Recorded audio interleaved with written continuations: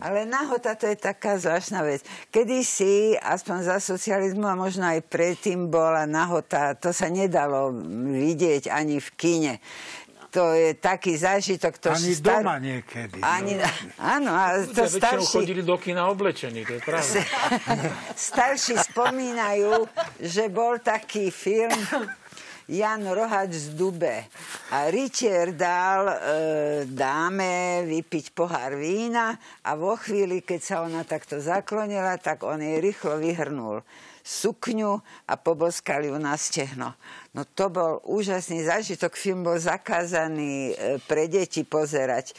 Preto ho môj muž so svojimi kamarátmi niekoľkokrát videl.